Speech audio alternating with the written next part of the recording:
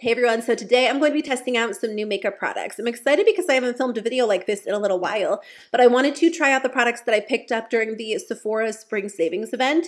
And then I also got a few things in the mail as PR that I thought I would try out in today's video as well. So I'm doing two separate videos. I'm going to do a drugstore version and then a high-end version because I have a lot of products.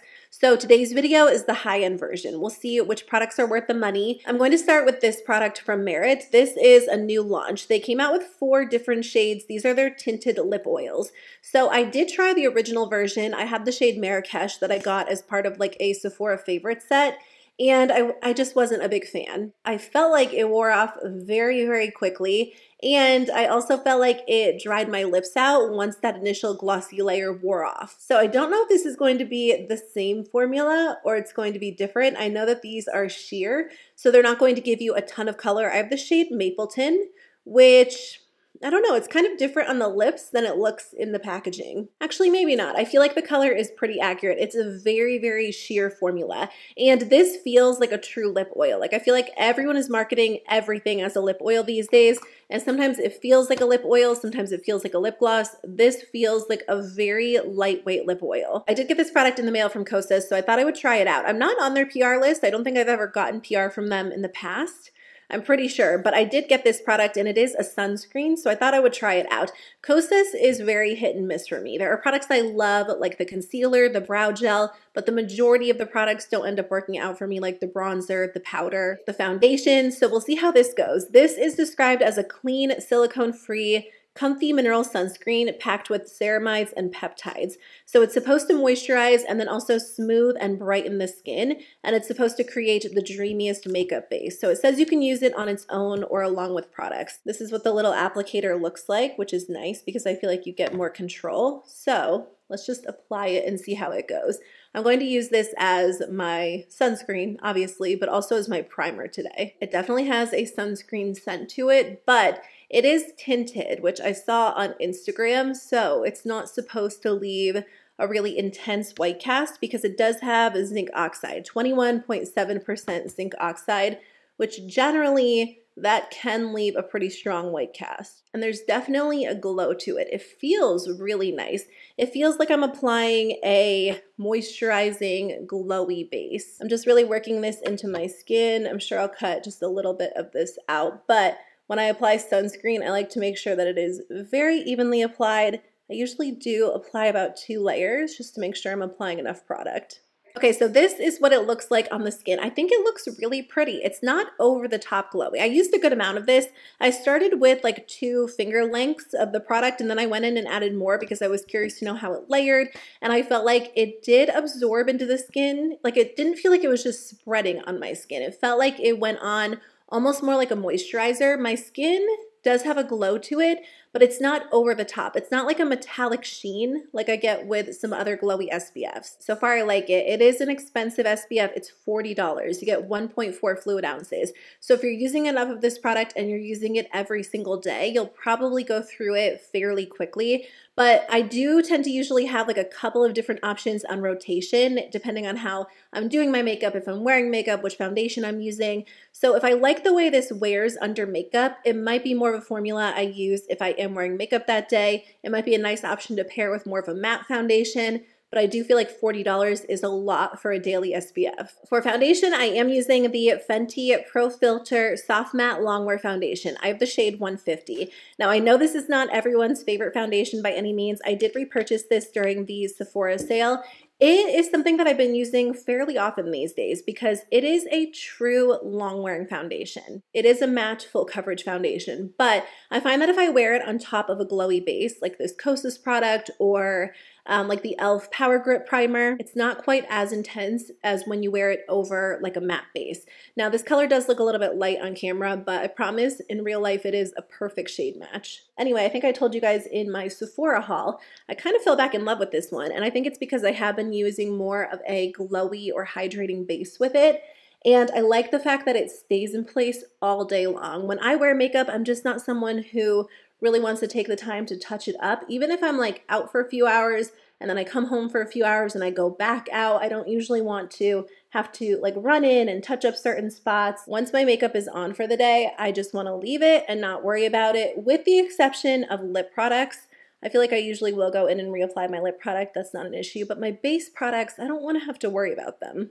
And I like the fact that this foundation does stay in place all day. My camera cut out while I was blending, and I don't remember exactly where I was at. I think I was just saying I know it's not really trendy right now to use more long wearing, full coverage products. I think makeup trends are really fun, and I definitely like trying new things. But I'm just, I'm an all or nothing type of person when it comes to makeup. Either I'll skip makeup completely, I might go in with like a little bit of brow gel and mascara, but I'll skip it for the most part, or I'll go all out and create like more of a full coverage, full glam, long lasting look. By the way, I'm just using a little bit of the Milk Makeup Future Fluid All Over Cream Concealer, and I have the shade 5W. I'm using a Real Techniques brush. This is a deluxe crease brush, but I really like using it as a concealer brush.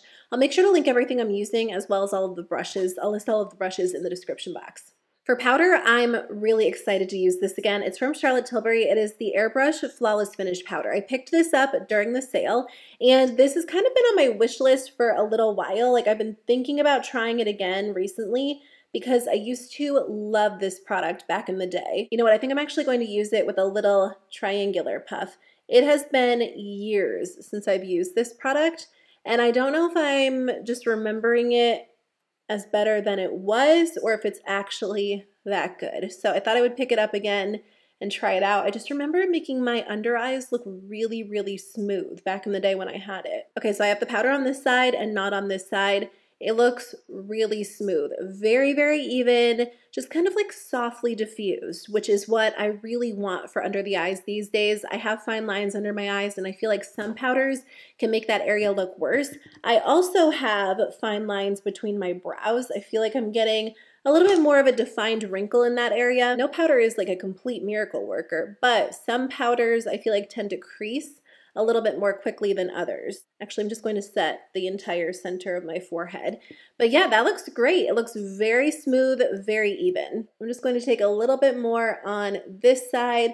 You know, the Flower Beauty Light Illusion is similar, and I feel like that one does a great job, but I was just curious to try this again after all these years because I remember loving it so, so much. And honestly, I don't use quite as much powder these days as I used to back in the day, so I don't think I'll go through it quite as quickly. I'm just using this to set the center of my face, but I am going to go in with cream products so I'll leave the rest of it for now. I'll come back to the cheeks and finish off the face in just a second, but I'm just going to apply the Glossier Boy Brow. I have the shade Brown, which I feel like works perfectly for me. This has been my favorite brow gel. I just think it makes such a difference.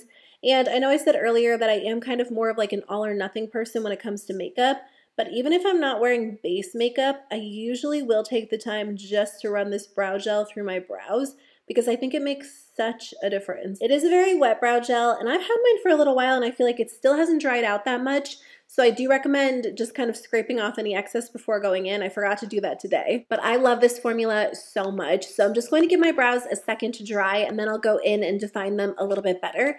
In the meantime, I am going to do the eyes. So I'm just using the Patrick Ta Major Dimension palette, the first one. Mine is a little bit older. It is very much well loved. I just want to create a very simple eye look because the focus today is not the eyes. Actually, I don't know. I might go in with some false lashes, but I want to keep the eyeshadow very soft, very natural. So I'm going to go in with this shade right here and just work that into the crease. I just want to do a brown in the crease and then a light shimmer all over the lid. I already applied eyeshadow primer a little bit earlier and then set it into place.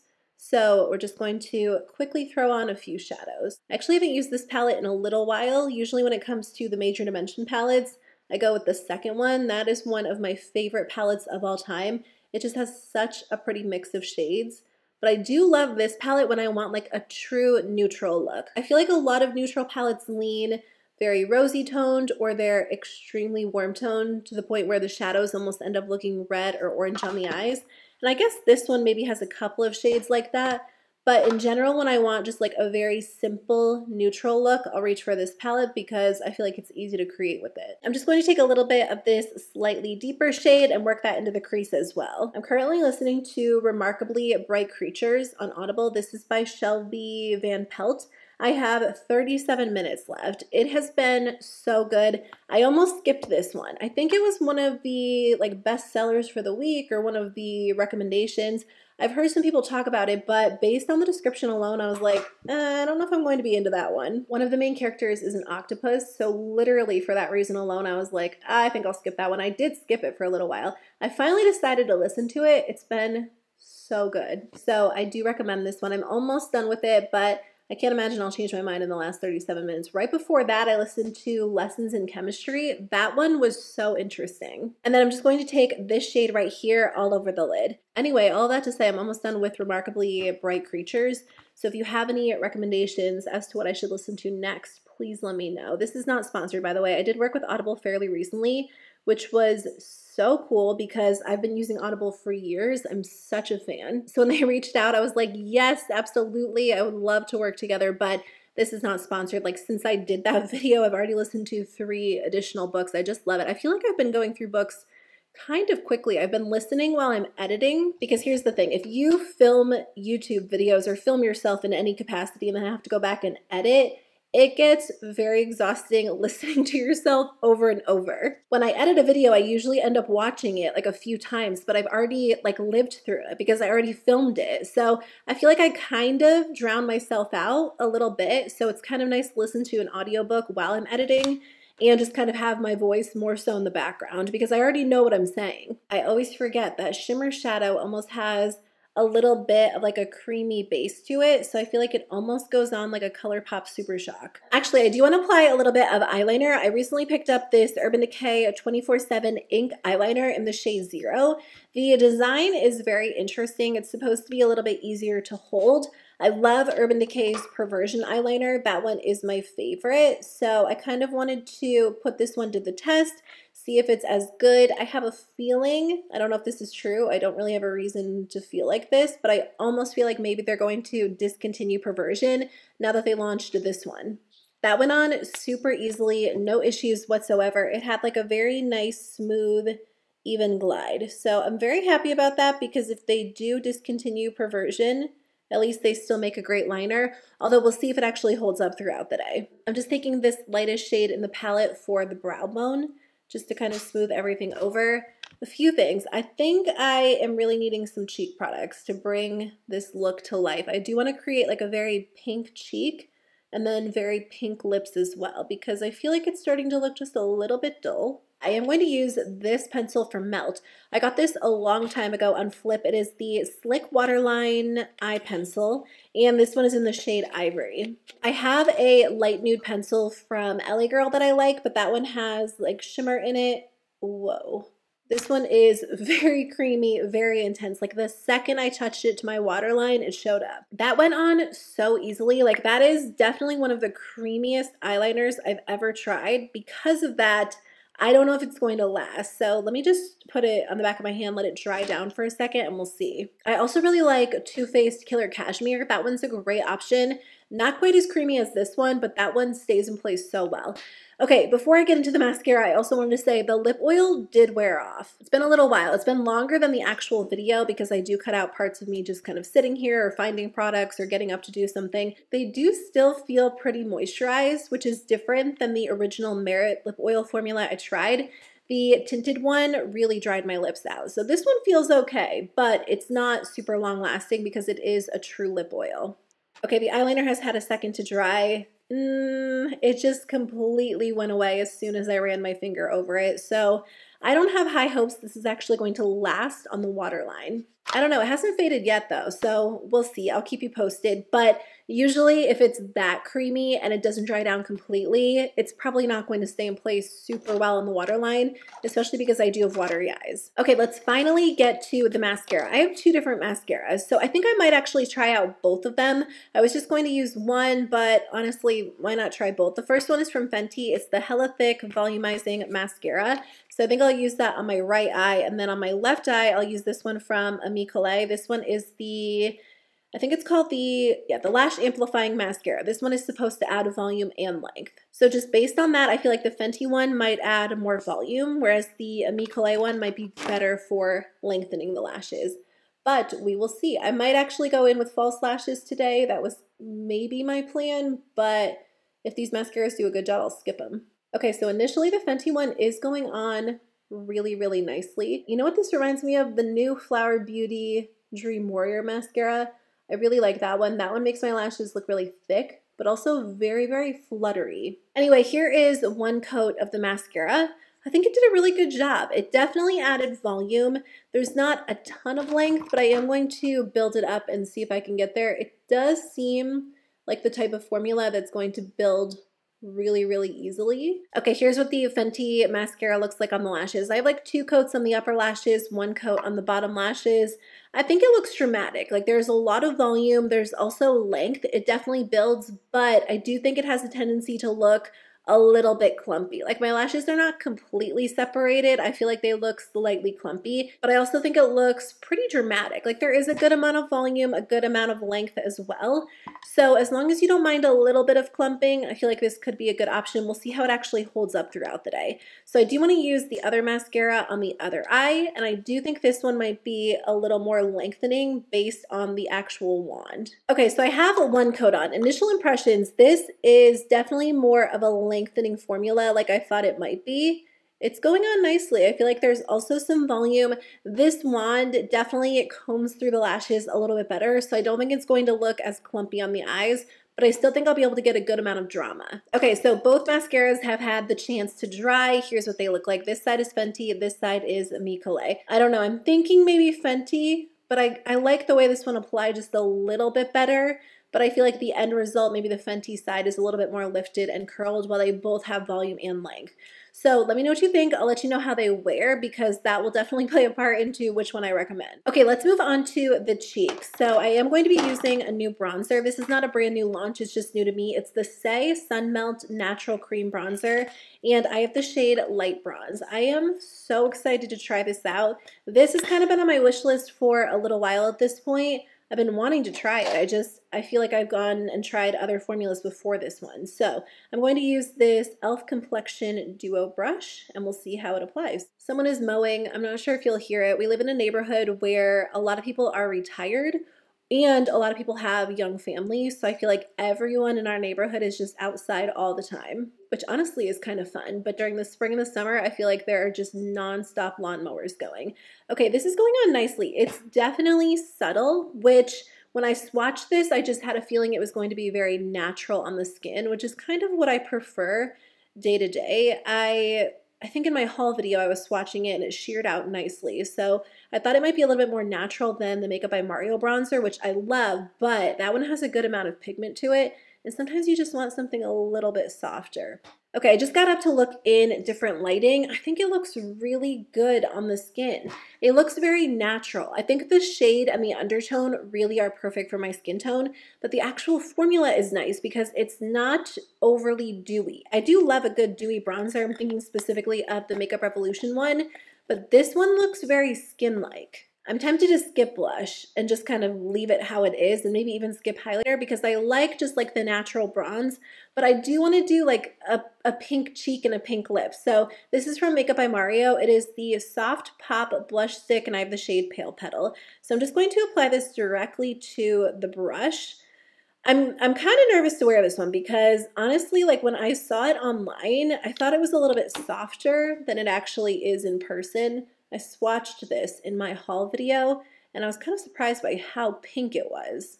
That looks pretty. I just kind of tapped the excess off on the back of my hand because I do think this blush has a good amount of pigment to it.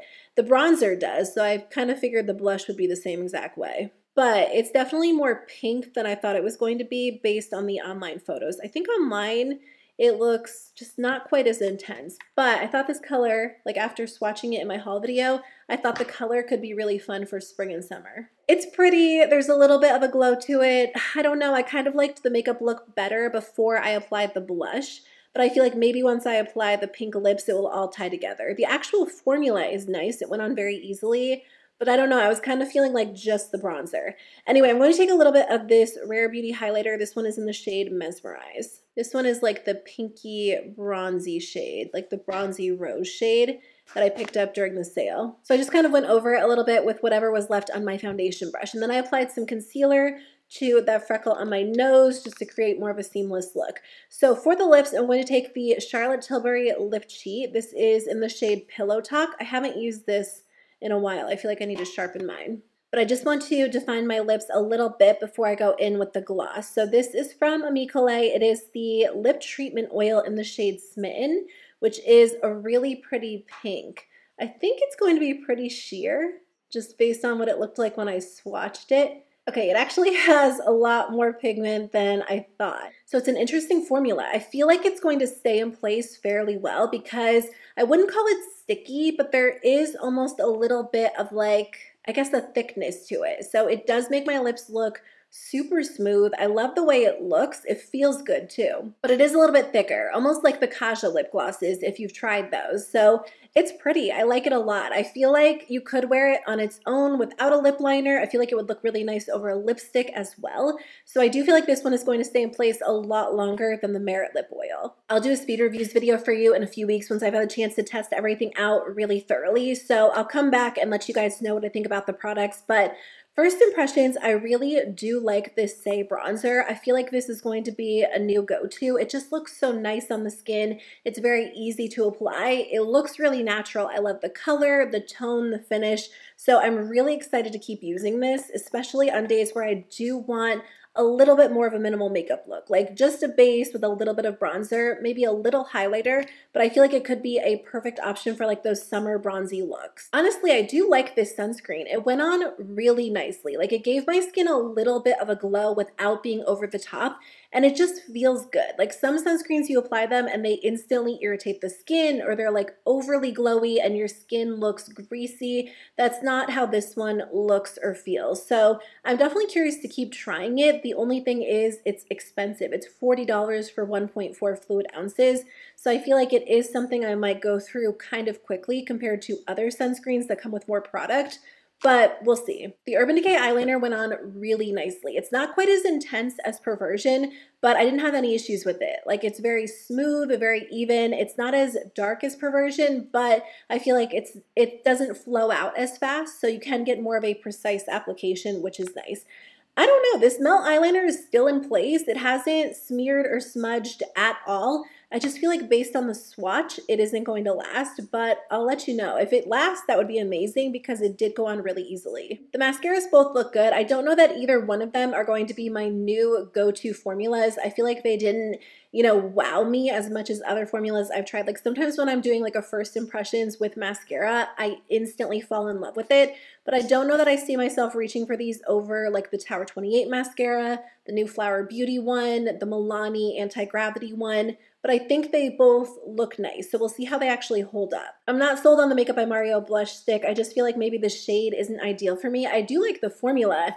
I don't know, it's just, it's a lot more vibrant than I thought it was going to be. And I have pink blushes, but maybe this one is just slightly too pink. I don't know. I'll keep playing around with it and see. I think the formula is good. I just don't know about the shade. And then as for the lip products, the Merit Lip Oil, very, very lightweight. Like a true lip oil that isn't going to last more than like an hour. But my lips did feel pretty good after it wore off. You're just not going to get longevity out of this product or really a lot of color. It's very, very subtle. The Ami Colé one does feel more like a true lip gloss. It looks very pretty, super smooth, but you know what? There is a little bit of a sticky feel to it. So if you don't like sticky lip products, skip over it. It doesn't feel like a lip oil. To me, this one feels more like a traditional lip gloss. So just kind of depends on what you're going for, but I do think it is a pretty shade and it does make my lips look super smooth, really shiny. So those are all of the new products. Everything else is something I've tried and I really enjoy, but this is the final look. I feel like I had a little bit of trouble with the blush, so it's not quite as like smooth and seamless as I would have liked it to be.